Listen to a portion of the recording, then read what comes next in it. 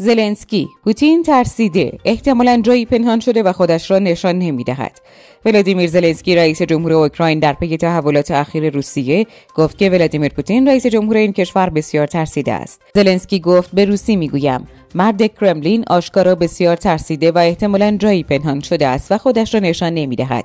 زلنسکی همچنین گفت که اقدام های شخص پوتین عامل وضعیت پیش روی وی بوده است.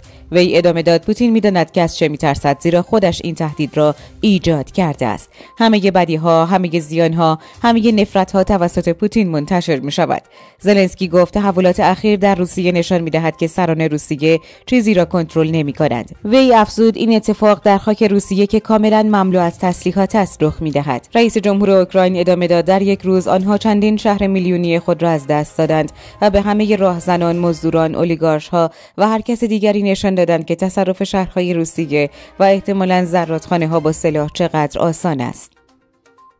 تغییر مشکوک برنامه روزانه مقامات آمریکایی همزمان با شورش در روسیه.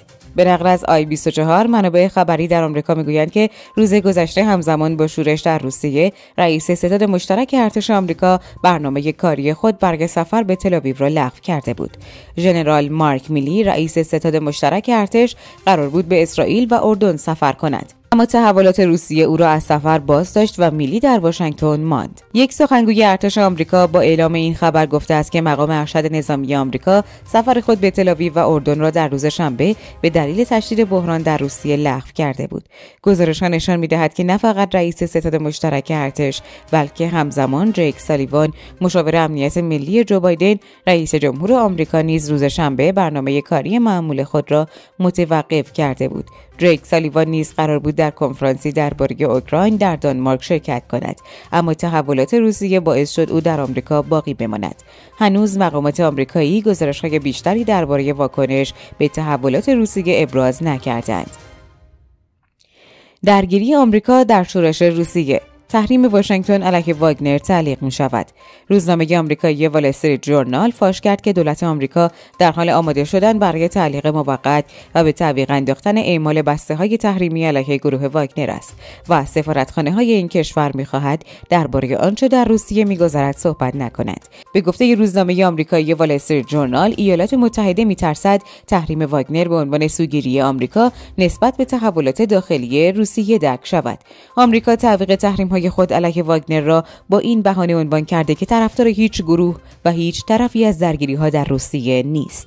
برخی منابع مطلع و آگاه نیز به وال جورنال گفتند که واشنگتن نگران از تحریم واگنر ناخواسته به ولادیمیر پوتین کمک کند. این روزنامه آمریکایی گزارش داد که وزارت امور خارجه ایالات متحده دستورات سختی را به سفارتخانه های خود در خارج از کشور داده است تا در مورد رویدادهایی که اکنون در روسیه رخ می‌دهد سکوت کنند و دولت ایالات متحده هیچ قصدی برای دخالت در امور داخلی روسیه ندارد.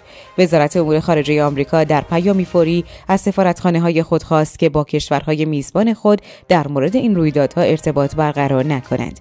این روزنامه آمریکایی افزود وزارت امور خارجه از رؤسای نمایندگی ها و کارکنان سفارت ها خواسته است که بدون مجوز قبلی از واشنگتن در مورد آنچه در روسیه رخ می‌دهد با مقامات دولت های میزبان اظهار نظر نکنند و به درخواست های مطبوعاتی پاسخ ندهند.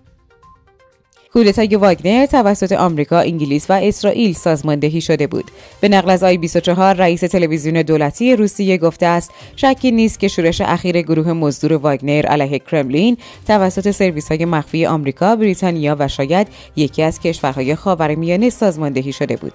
به نظر می رسد اشاره این مقام رسانه‌ای روسیه به یکی از کشورهای خاورمیانه که در ناآرامی های اخیر روسیه دست داشتند اسرائیل است.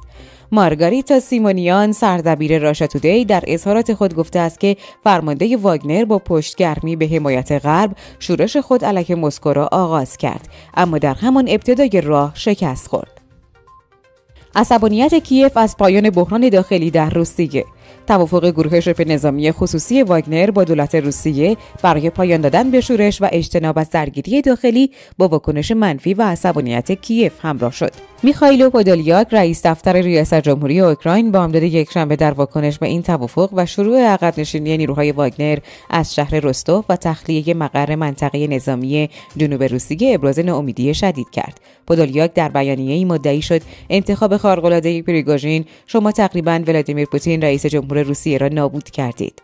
پودولیاک در بیانیه ای مدعی شد انتخاب خارق‌العاده پریگاژین شما تقریبا ولادیمیر پوتین رئیس جمهور روسیه را نابود کردید. کنترل دولت مرکزی را به دست گرفتید به مسکو رسیدید و ناگهان عقب نشینی کردید. هشدار ترامپ به مشتاقان کودتا در روسیه. دونالد ترامپ رئیس جمهور سابق ایالات متحده به کسانی که مشتاق کودتا در روسیه هستند هشدار داد و گفت برکناری ولادیمیر پوتین رئیس جمهور روسیه ممکن است عواقب ناخواسته ای به همراه داشته باشد. یک آشفتگی بزرگ در روسیه اما مراقب باشید چه آرزویی دارید. آشفتگی بعدی ممکن است به مراتب بدتر باشد. او درست قبل از انتشار اخباری مبنی بر موافقت یوگنی پریگوژین بنیانگذار واگنر به پایان دادن به شورش خود و توقف پیشروی گروهش به سمت مسکو به ناآرامی ها در روسیه واکنش نشان داد. ممنون که تا پایان با ما همراه بودید. جهت آگاهی از مهمترین رویدادهای ایران و جهان کانال ما رو در زیر همین ویدیو سابسکرایب و زنگوله اونو فعال کنید. وقتتون خوش و خدا نگهدار.